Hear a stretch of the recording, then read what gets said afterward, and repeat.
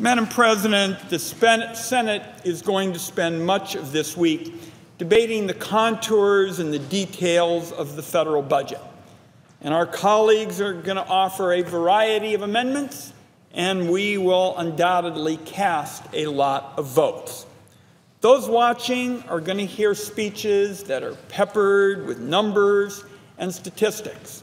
So I'd like to start the debate out by setting aside to the extent you can, this flood of numbers and statistics, and focus on what this really means to working families in my home state of Oregon and across the country.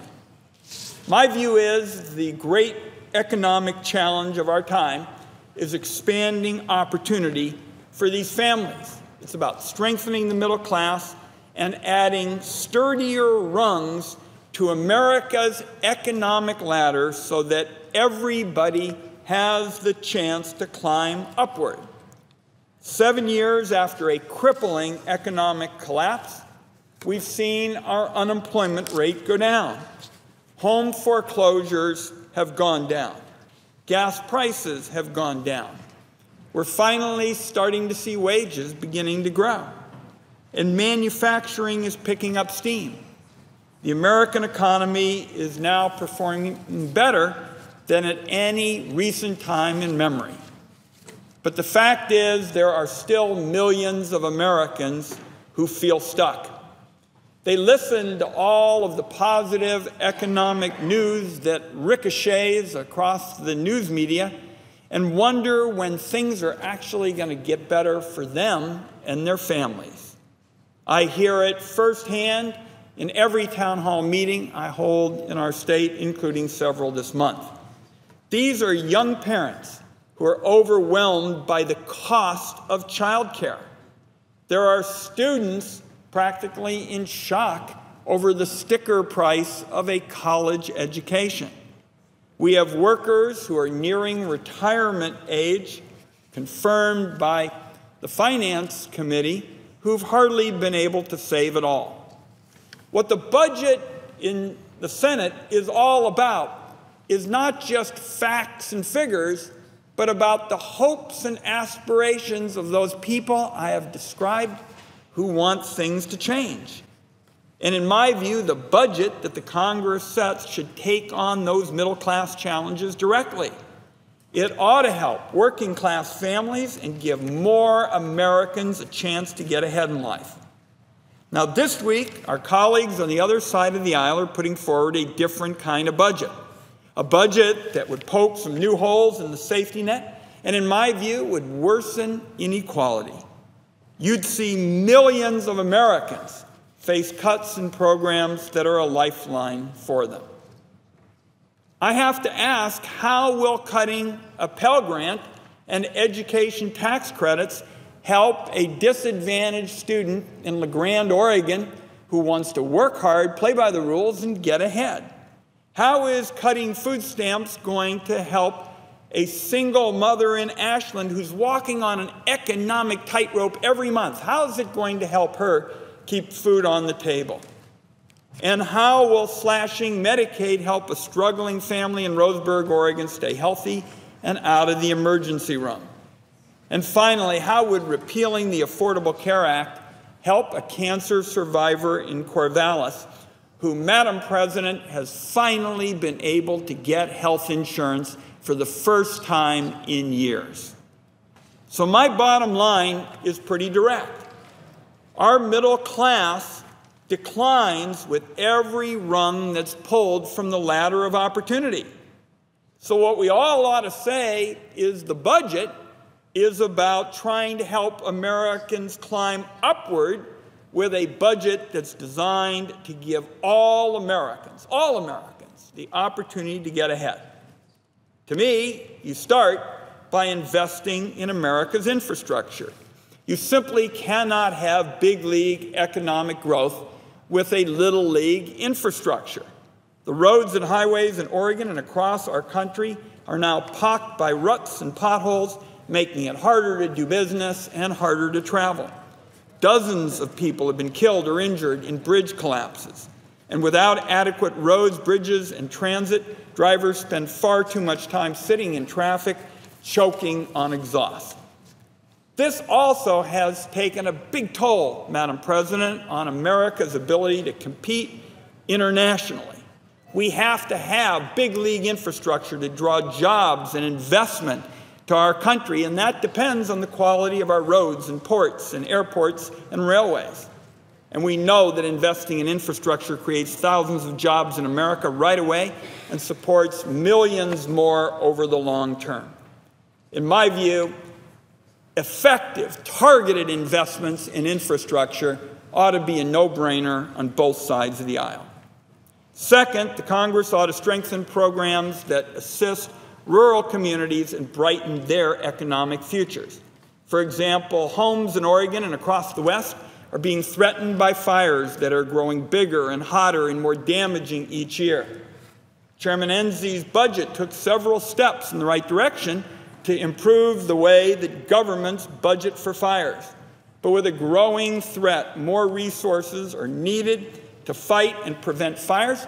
Madam President, having just visited Medford, Oregon, they told me it was going to be the driest in 25 years. And you take out a map and California just looks dry, dry, dry.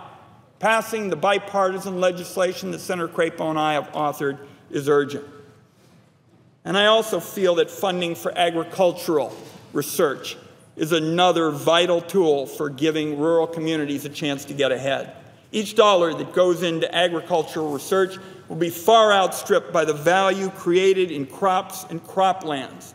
I was told just recently, Madam President, by wheat farmers in eastern Oregon that investing in agricultural research is going to give them and people all through eastern Oregon a better chance to get ahead and be more successful with their farms.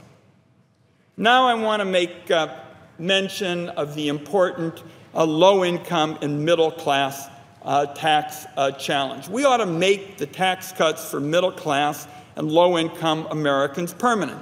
There is a very big tax looming in 2018 unless the Congress moves to prevent it. Millions of families in Oregon and across the nation depend on the expansion of the Earned Income Tax Credit, the Child Tax Credit, and the American Opportunity Tax Credit.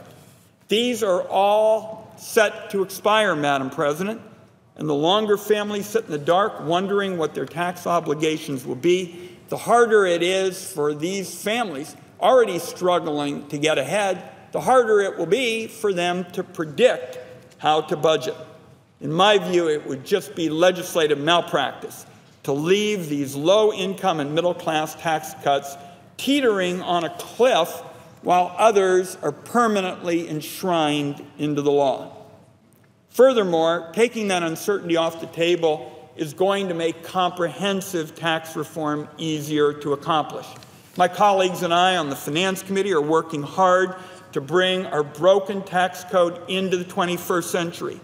I have worked for more than a decade, Madam President, first with our former colleague, Senator Gregg, most recently with our current colleague, Senator Coats, to produce the first bipartisan federal income tax reform plan in more than a quarter century.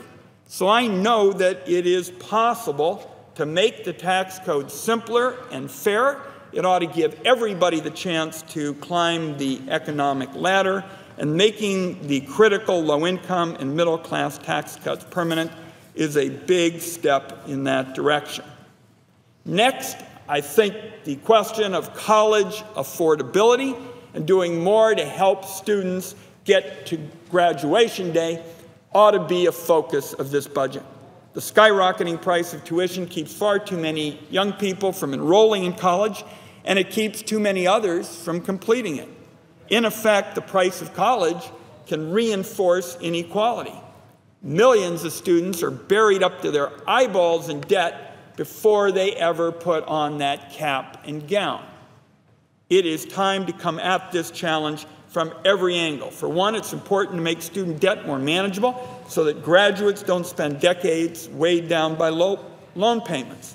It's absolutely essential to help students take on less debt from the start.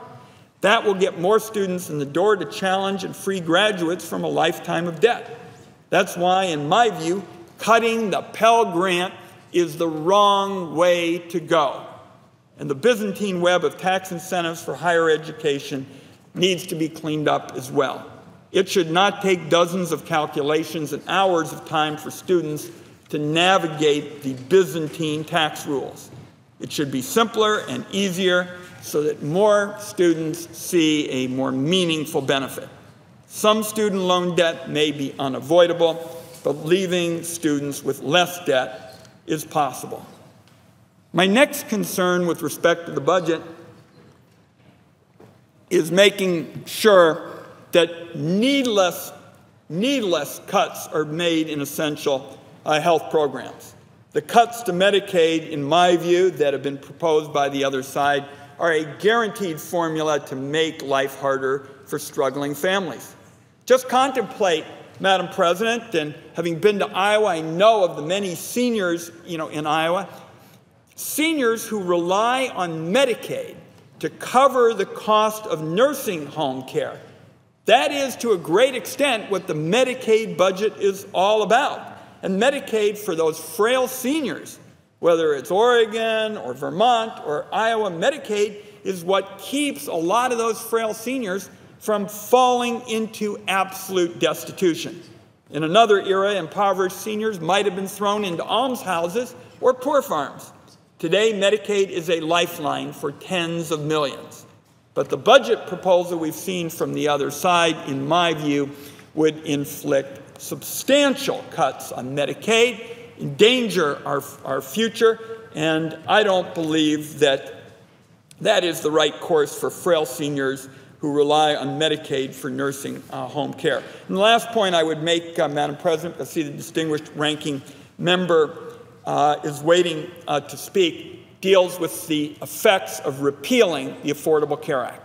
If you repeal the Affordable Care Act, and make no mistake about it, America goes back to the days when health care is for the healthy and the wealthy, because no longer will you have protections for people with pre existing conditions. Now, it's fine if you're healthy, and it's fine if you're wealthy, but that's not most Americans. So there are plenty of ways to improve the Affordable uh, Care Act in a bipartisan fashion. That's not what the budget from the other side does. I hope we won't go back to the days in America when health care is for the healthy and wealthy, which is the bottom line consequence of full repeal. With that, Madam President, I yield the floor.